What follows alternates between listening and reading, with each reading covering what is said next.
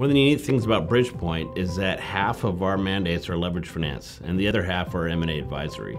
And so we'll sit down with a company and look at their projections and their trajectory and advise them on when we think the right time is to go to market and when the right time is to pursue a sale and when the right time is to maybe pursue an acquisition and how that financing would look. And this is why this timing would be most advantageous to you.